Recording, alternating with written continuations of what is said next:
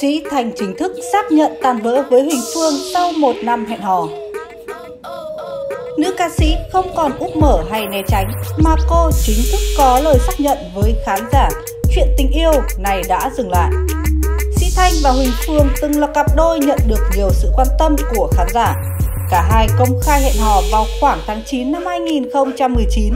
Thời điểm ấy, họ luôn có những khung ảnh tình tứ trên mạng xã hội. Trong vài tháng gần đây, người hâm mộ chẳng còn thấy hai nghệ sĩ xuất hiện cùng nhau nữa. Ngoài ra, các sự kiện cũng chẳng có mặt để ủng hộ đối phương như thời gian trước. Lúc này, nghi vấn tan vỡ bắt đầu xuất hiện. Không để người hâm mộ đợi chờ lâu nữa mà cách đây ít phút trên trang cá nhân, nữ ca sĩ đã chính thức viết tâm thư xác nhận tan vỡ. Với Huỳnh Phương sau khoảng một năm tình tứ, có lẽ sau một thời gian suy nghĩ kỹ thì cô quyết định phải có lời hồi đáp với những người đã và đang theo dõi mình. Sĩ Thành bộc bạch Sẽ có nhiều người nói rằng lúc yêu đương rầm rộ, chia tay thì im mắng.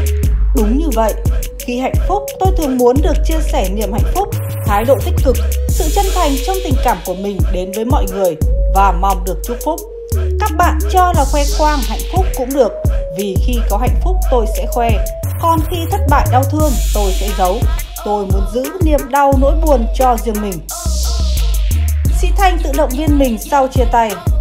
Trên bài đăng dài xác nhận chuyện mình chính thức đường ai nấy đi với Huỳnh Phương, Sĩ Thanh càng trở nên mạnh mẽ.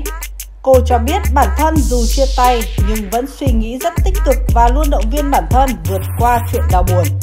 Cụ thể, cô cho hay, cười cho người khác thấy, khóc cho mình nghe chính là cách sống của tôi. Tôi chỉ muốn chuyển năng lượng tích cực, điều tiêu cực cần phải bỏ đi và càng không muốn chuyện tình cảm cá nhân phiền lòng mọi người. Những chia sẻ của Sĩ Thanh càng khiến cho fan hâm mộ cảm thấy khâm phục. Vì đối với một người nghệ sĩ mà nói, cô không muốn lấy những câu chuyện cá nhân ra làm buồn lòng công chúng yêu thương mình. Yêu rồi chia tay cũng là chuyện thường không là gì to tát cả. Câu chuyện ra sao mình xin giữ cho riêng mình, mong các bạn thông cảm. Hiện mình đang rất vui vẻ và tận hưởng cuộc sống độc thân lúc này, mọi người đừng lo nhé. Cảm ơn đã quan tâm cho mình và lắng nghe những chia sẻ này. Sĩ Thanh tâm sự.